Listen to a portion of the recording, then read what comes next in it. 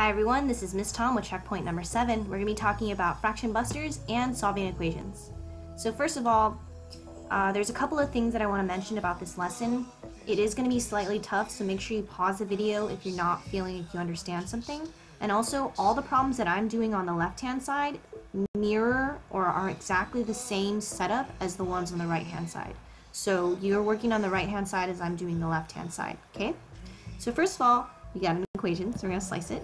The other thing is that you're going to notice that we have denominators. Now, denominators are fractions, which make it a little bit more challenging to solve. So instead what we're going to do is we're going to multiply both by 6 and 3. Okay? The reason why we're doing that is because you want to make it so that the denominators go away. And how do you do that? By eliminating them with the fraction busters. Now these fraction busters are really helpful because you can eliminate them and then you have whole numbers. So the sixes are going to cancel out here and then we're going to end up with 3x plus. Over here the 3's are going to cancel out and then go 2 times 6, that's 12. Equal to 5 times 3 times 6, well 5 times 3 is going to be 15 and 15 times 6 is going to be 90. If you're not convinced of that, always check your work. See? Okay, then the next thing is we're going to continue solving for x, so we're going to need to subtract the 12. What we do to one side, we do to the other. Then this becomes a zero pair. We end up with 3x is equal to 78. And then lastly, we're going to go ahead and divide by that 3, and we get x is equal to, what's 78 divided by 3? If I were to do that in my head, I know that that is 26. Is that 26? Yes, it is. So we get x is equal to 26.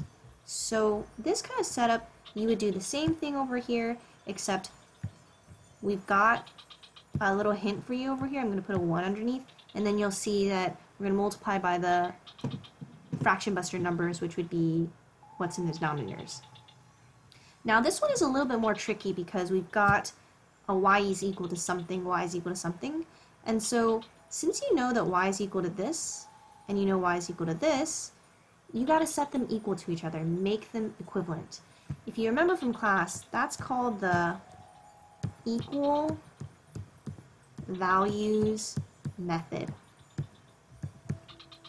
So we talked about how the equal values method is if you know something's equal to this, and that same something is equal to something else, just make them equal to each other. That's a lot of words, so I'm going to make it more evident by writing it out. By doing 7x plus 2 is equal to, what's over here? 2x minus 10 and 5 tenths.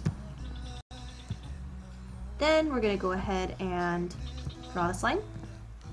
We're going to notice that the x's can be taken out. We end up with 0 over here. 5x plus 2 is equal to negative 10.5. Then we're going to go ahead and subtract that 2.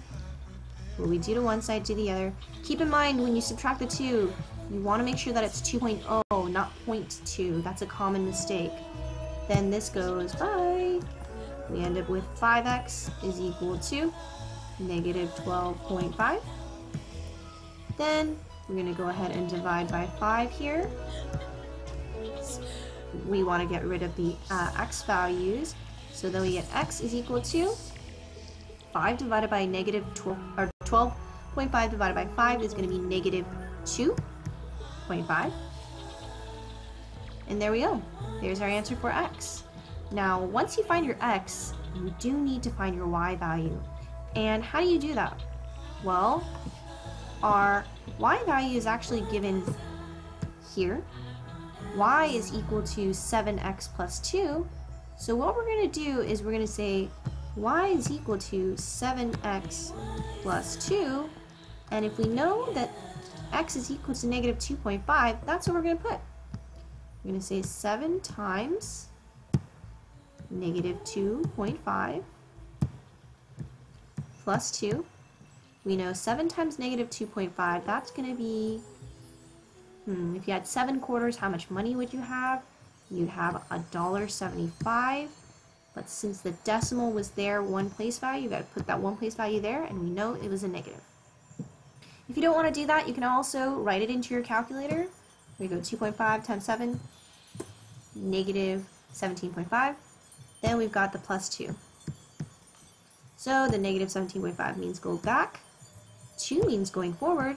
So we end up with our y value being negative 15 and 5 tenths. So that's what y is equal to, negative 15.5. And then x is equal to negative 2.5. Those are our answers. You're going to need to do that same thing for this one. So equal values method is what you're going to use. You're going to set it up where we have the 32x plus 16 going to be equal to the 80x plus 4. Then solve. Okay, so number 5 is what we have next. We have the y is equal to this and y is equal to this. So what you're going to do is you're again going to use that equal values method where we make them equal to each other. So we're going to make x over 3 equal to 4 over 3 x minus 9. Now what's going to happen is we are going to eliminate those denominators. How do you eliminate? How do you eliminate them? By multiplying by them. So we're going to multiply by 3 here. What we do to 1, we do to all. We multiply everything by 3. You're to notice these cancel out. Get x. These cancel out. Get 4x. And then this one doesn't cancel out. So we're ending up with 27. Okay? Next thing we're going to do is we're going to solve for x. I like to make it so that x is always positive, um, but some people don't mind making it negative. So I'm going to make it so that x is positive by subtracting by the, the smaller amount. This is going to be 0. So you get 0 is equal to 4x minus x, which is 3x minus 27. Then we're going to go ahead and add by 27 to both sides. and we get 3x is equal to 27.